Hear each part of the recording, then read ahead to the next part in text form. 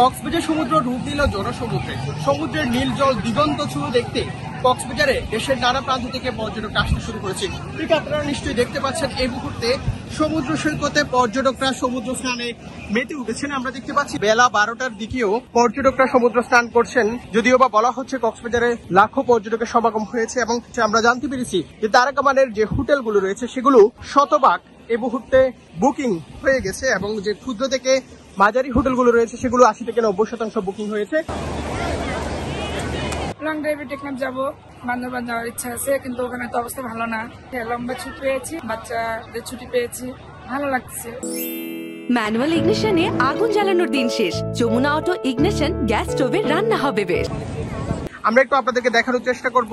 সমুদ্র সৈকতে পর্যটকরা এসে সমুদ্র স্নান সহ নানা আনন্দমুখর সময় পার করছেন পরিবার প্রিয়জন নিয়ে। এই মুহূর্তে সেই দৃশ্যটি আমরা দেখছি এবং আপনাদেরকে দেখানোর চেষ্টা করছি, আর কত সংখ্যক এই মুহূর্তে পর্যটক এসেছে এবং এই বিপুল সংখ্যক পর্যটকের আগমনে জেলা প্রশাসন টুরিস্ট পুলিশ এবং বিভিন্ন আইনশৃঙ্খলা বাহিনী থেকে নিরাপত্তার টহল জোরদার করা হয়েছে। যেহেতু দুর্গাপূজার ছুটিতে কক্সবাজারে, চার দিনের ছুটিতে কক্সবাজারে লাখো পর্যটকের সমাগম হবে এবং পর্যটকের সংখ্যা আরও বাড়তে পারে। সেহেতু কক্সবাজারে বিপুল সংখ্যক পর্যটকের আগমনে বিশেষ নিরাপত্তা জোরদার করা হয়েছে। সেই তথ্যটি আমরা পেয়েছি এবং কক্সবাজার সৈকত সহ কক্সবাজারের যে দরিয়ানগর, লাবণী এবং হিমচুরি পয়েন্ট রয়েছে, সেখানেও কিন্তু অনেক পর্যটকের সমাগম হয়েছে। আমরা দেখতে পাচ্ছি এখানে পর্যটকরা এসেছেন এবং দূর দূরান্ত থেকে পর্যটকরা এসে নানা আনন্দ উপর সময় পার করছেন কক্সবাজার সৈকতে। সেই দৃশ্য দেখছি। আমরা একটু একজন পর্যটকের সাথে কথা বলার চেষ্টা করব। আপনি কোন জায়গা থেকে আসছেন? রাউজান থেকে আসছেন?